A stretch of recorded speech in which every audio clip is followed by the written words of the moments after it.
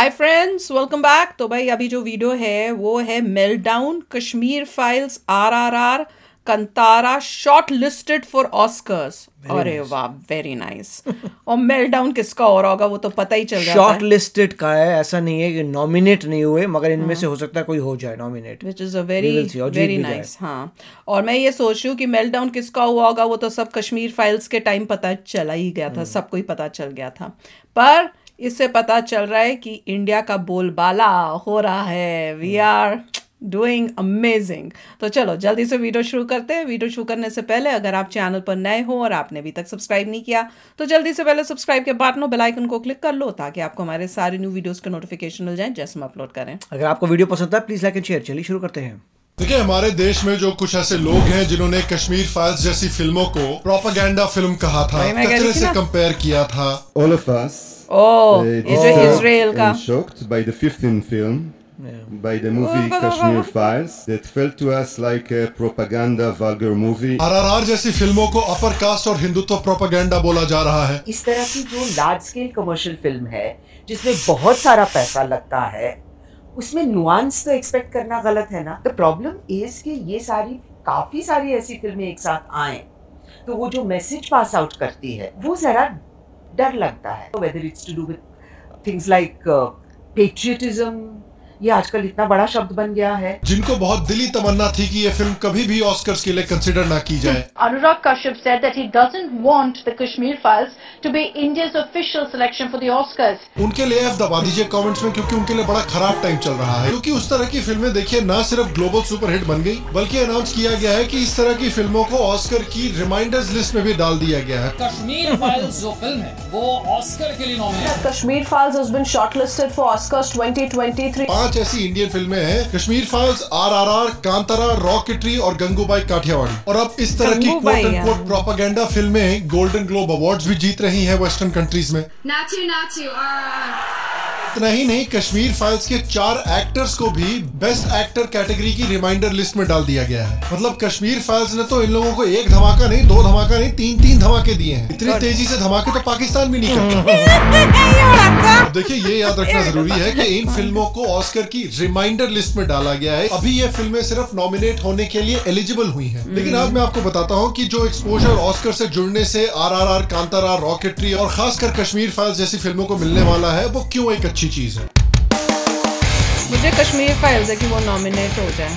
Hello hello शाम Sharma show के इस एपिसोड में आपका बहुत बहुत स्वागत है। मैं हूँ सेकुलरिज्म का सीईओ शाम शर्मा और आप सबको एक सेकंड प्रणाम। तो देखिए, पिछले एक डेढ़ सालों में हम सबने देखा है कि किस तरह से एक डेडिकेटेड कैंपेन चलाया गया है भारत में। इस तरह की फ़िल्मों को अटैक और डिस्क्रेडिट करने के लिए जो अपने कल्चर से जुड़ी हुई हैं, प्यार करती हैं, या भारतीय हिस्ट्री के ऐसे पहलू को दिखाने की कोशिश करती है जिनको ज़बरदस्ती छुपाया गया है। बेस्ड ऑन ट्रू इवेंट्स करके डिस्क्लेमर तो आप डाल दें, लेकिन फिक्शनल फिर कुछ भी दिखा दें तो हम लाइक दैट उन्हें कश्मीर चाहिए और हमें उनका sir If you want nuance or insight into the hearts and minds of brave men and women who willingly put themselves in the line of fire, you won't find it here. Tanaji the Unsung Warrior is the latest in the slew of Islamophobic period films coming out of Bollywood in recent years. The Kashmir Files is a movie that weaponizes the pain and suffering of Kashmiri Pandit to create an environment of disaffection against Muslims from Kashmir and Muslims from the rest of India, against universities like JNU, against professors and against journalists. Nuance तो expect करना गलत है ना? उनको nuance नहीं चाहिए तभी. She's also with that mentality. Nuance is so middle class यार मोनिशा. और इतना ही नहीं जब Kantara जैसी फ़िल्में निकल के आती हैं जो ट्राइबल ट्रेडिशंस को दिखाती हैं तो ये भी कोशिश की जाती है कि ट्राइबल ट्रेडिशंस को हिंदुइज्म से अलग किया जाए। Hinduisation of the tribal tradition और खासकर जब कश्मीर फाइल्स जैसी फ़िल्मों की बात आती है सबसे ज़्यादा अटैक तो इस फ़िल्म पर हुए हैं। तरह तरह के लोगों से चाहे कमेंटेटर हो जर्नलिस्ट हो फ़िल्म मेकर हो पोलिटिकल पार्टीज़ हो सबने इस फ़िल्म को टारगेट करके डिस्क्रेडिट करने की कोशिश की है। राष्ट्र निर्माण करेंगे आपके साथ मिलकर ये पोस्टर भी नहीं लगवाएँगे झूठी फ़िल्मों के। और देखिए हम ये बात भी जानते हैं कि हमारे देश के कुछ ऐसे लोग हैं जो ऑस्कर्स की आइडियोलॉजी से काफ़ी सहमत हैं जो ऑस्कर्स को और गोल्डन ग्लोब्स को बहुत आइडलाइज करते हैं जो एक तरह से एक पर्टिकुलर आइडियोलॉजी का घर बन चुका है।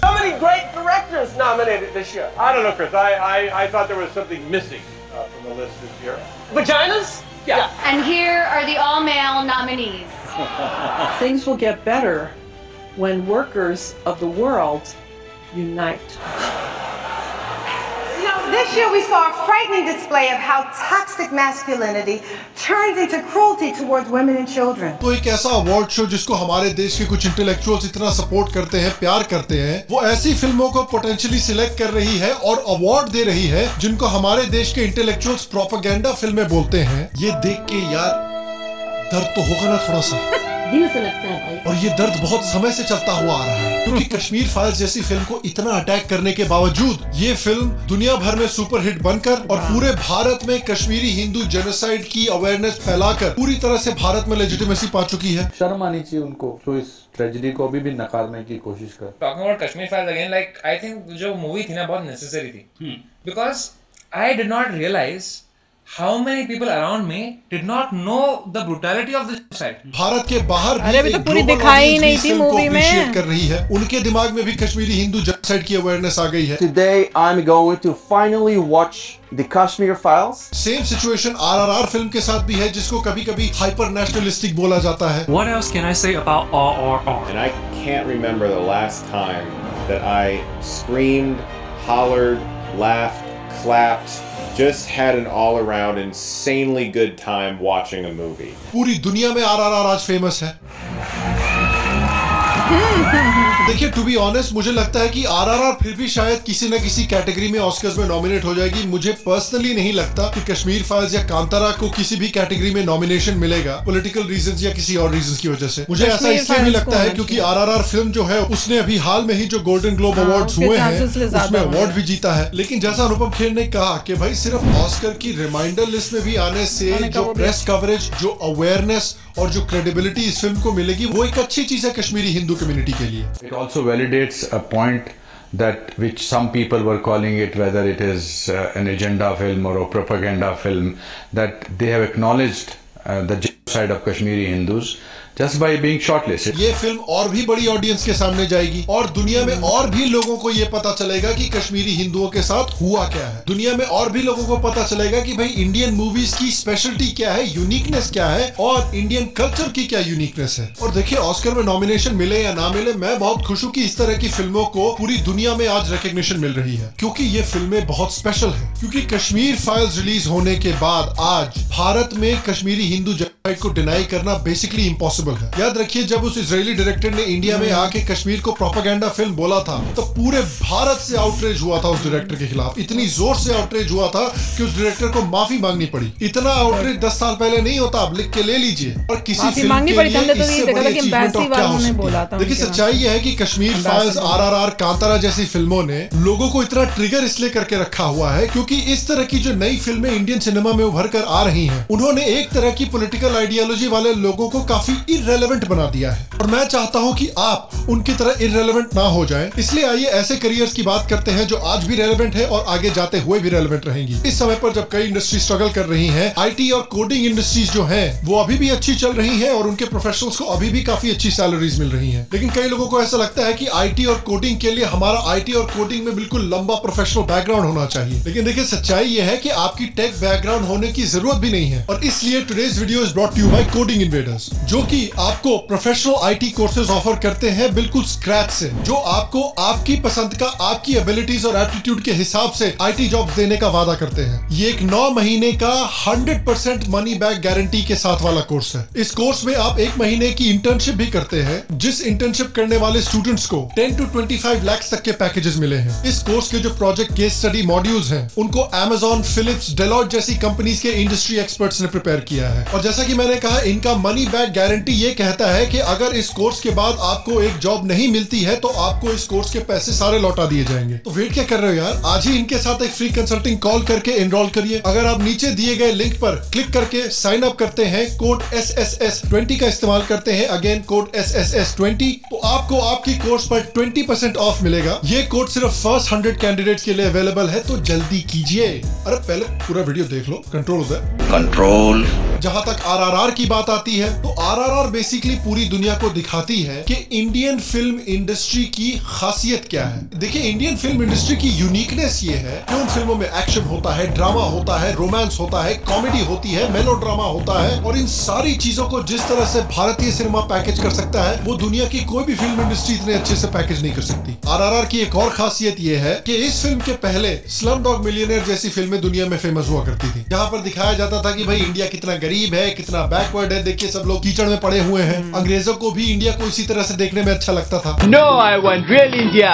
Poor people, hungry people. लेकिन आरआरआर ने उस स्टीरियोटाइप को पूरी तरह से तोड़ दिया। आरआरआर बेसिकली इंडिया के कल्चर से वेस्ट को इन्फ्लुएंस कर रही है। जिस तरह के सीन हमको भारतीय थिएटर में देखने को मिलते हैं वो अब हमको अमेरिकन थिएटर्स में देखने को मिल रहे हैं। आरआरआर जिस तरह से इंडियन कल्चरल एस्पेक्ट्स और सटल हिंदुत्व दिखाकर भी दुनिया को इन्फ्लुएंस करता है भाई वो भी हमें पसंद है। कांतारा में भी यही बात है जिस तरह से वो इंडिया की कल्चरल डाइवर्सिटी को दिखाती है। इंडिया के यूनिक कल्चरल ट्रेडिशन को दिखाती है। और उन ट्रेडिशन को जेन्युइनली प्यार करती है ज़बरदस्ती ज्ञान देने की कोशिश नहीं कर रही है ऑडियंस को। ये भी बहुत अच्छी तो है। इसीलिए तो ये फ़िल्म इतनी सक्सेसफुल हुई है। भैया अक्षय कुमार ने डेढ़ सौ फ़िल्में बनाई है 2022 में। और उन सारी फ़िल्मों से ज़्यादा पैसे सिर्फ़ इस एक फ़िल्म ने कमा रखे हैं। एंड टू बी ऑनेस्ट इस तरह की फ़िल्में देखिए एक और रीजन से सक्सेसफुल होनी चाहिए। क्योंकि हमारे देश में कुछ टेस्ट मेकर्स हैं कुछ इंटेलेक्चुअल्स हैं जिनका मानना है कि ज़रूरत से ज़्यादा इंटेलेक्चुअल फ़िल्में ही अच्छी होती हैं। सिर्फ़ उस तरह की फ़िल्मों को ही ऑस्कर में भेजना चाहिए। इसलिए हम पिछले 20 सालों से ऐसी फ़िल्में ऑस्कर में भेजते हुए आ रहे हैं जिनको जीतने का कोई चांस नहीं है। जबकि हम उधम सिंह जैसी फ़िल्में आरआरआर जैसी फ़िल्में और तुम्बट जैसी फ़िल्मों को इग्नोर कर रहे हैं। इन टेस्ट मेकर्स और इंटेलेक्चुअल्स के मुताबिक उधम सिंह को ऑस्कर्स में इसलिए नहीं भेजा गया क्योंकि वो फ़िल्म अंग्रेज़ों के खिलाफ हेट्रेड दिखाती है। भैया इन लोगों के मुताबिक ना नाना पाटेकर की यशवंत फ़िल्म भी नहीं रिलीज़ होनी चाहिए थी क्योंकि वो फ़िल्म मच्छरों के खिलाफ हेट्रेड दिखाती है। एक मच्छर साला आदमी को और 9/11 के अटैक्स में कोई भी फ़िल्म नहीं बननी चाहिए क्योंकि वो ओसामा बिन लादेन के खिलाफ love is love. फैलाते हैं। इस साल भी इन्हीं इंटेलेक्चुअल्स ने इसी जूरी ने आरआरआर को रिजेक्ट किया और एक गुजराती फोक ड्रामा को ऑस्कर्स की तरफ़ भेजा। अब देखिए ये गुजराती फ़िल्म भी अच्छी फ़िल्म होगी मैंने देखी नहीं है बट आई एम श्योर ये अच्छी फ़िल्म है। और इस वजह से भी मैं चाहता हूँ की इस तरह की फ़िल्में और सक्सेसफुल हो। लेकिन देखिए at the end of the day Oscar के लिए नॉमिनेट होना ऑस्कर की रिमाइंडर लिस्ट में आना इसकी कुछ खास मीनिंग नहीं है अदर देन जो एक्सपोजर मिलने वाली है इन फ़िल्मों को खासकर कश्मीर फाइल्स को एक ग्लोबल ऑडियंस को कश्मीरी हिंदुओं के साथ क्या हुआ है ये बताने के लिए। और जो हमारे देश में कुछ इंटेलेक्चुअल्स का मेल्टाउन होगा वो तो भैया बस सोने पे सुहागा है। और। कश्मीर फाइल्स आरआरआर कांतारा रॉकेटरी जैसी फ़िल्मों की मेरे हिसाब से सबसे बड़ी अचीवमेंट ये है कि आज इंडिया में एक ऐसा मार्केट डेवलप हो रखा है जो इस तरह की फ़िल्मों को सपोर्ट करने को तैयार है। और जब तक इंडियन ऑडियंस ऐसी फ़िल्मों को सपोर्ट करने के तैयार है जो इंडियन कल्चर को दिखाना चाहती है इंडियन कल्चर को प्यार करती है इंडियन हिस्ट्री के छुपाए हुए पहलू को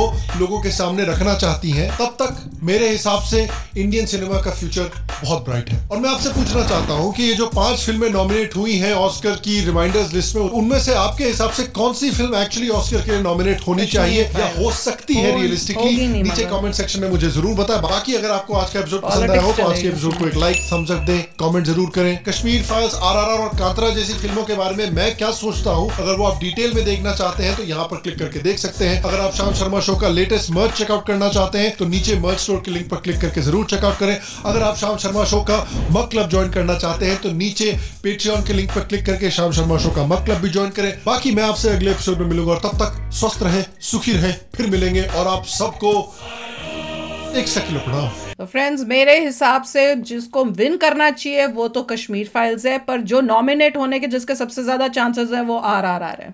पर जो भी है, मैं कहूँगी द सिलेक्शन जो ये इन्होंने शॉर्ट लिस्ट की है मूवीज़ तीनों जो मेन में मेन है कंतारा आर आर आर और कश्मीर फाइल्स बहुत ही अच्छी मूवी सिलेक्ट की हैं, और उससे एक्सपोजर डेफिनेटली मिलेगा, और बोलते हैं ना it's going to be a big slap on the face of those people जो उसके अगेंस्ट बोल रहे थे। हिंदी मतलब कि जो उसके खिलाफ इन मूवीज़ के खिलाफ अपना चला रहे थे प्रोपोगंडा उन सब के मुँह पर एक करारा तमाचा। ये देखिए जो भी बॉलीवुड में लोग थे जो जिस टाइप की मूवीज़ बनाते थे ये उन सब चीज़ों से टोटली अलग थी। इसीलिए जितने भी जैसे उन्होंने कुछ दिखाए थे क्लिप्स बॉलीवुड वालों के वो तकलीफ़ में थे कि उसके बारे में सब नेगेटिविटी थी और उनके जो भी स्पॉन्सर्ड लोग हैं जो रिव्यूज़ देते हैं उन्होंने भी नेगेटिव कहा था। यहाँ पे बहुत अच्छी बात है कि उनको पूरा रिजेक्ट करके ऑस्कर ने कहा नहीं they are really good movies और हमने शॉर्ट लिस्ट की अब देखते हैं कि कौन सी नॉमिनेट होती है। But shortlisting itself is a great thing yes achievement है लाइमलाइट में आई है उससे मैसेज भी पहुँचा है। वर्ल्ड के लोगों को भी पता चलेगा। कई इसको देखेंगे। जस्ट बिकॉज़ वो शॉर्ट लिस्ट हुई हुई है तो काफ़ी अच्छी बात है। मज़ा आया है। अब nice. देखते हैं कौन सी सिलेक्ट होती है। तो चलो फ्रेंड्स चलते हैं मिलेंगे नेक्स्ट वीडियो में। बहुत ही जल्द till then take care and bye bye तो अगर आप मेरे इस चैनल पे नए हो तो जल्दी से सब्सक्राइब के बटन को हिट करो और बेल आइकन को क्लिक करो ताकि आपको मेरा जब नया वीडियो मैं लगाऊँ आपको उसके बारे में जल्दी से पता चल जाए।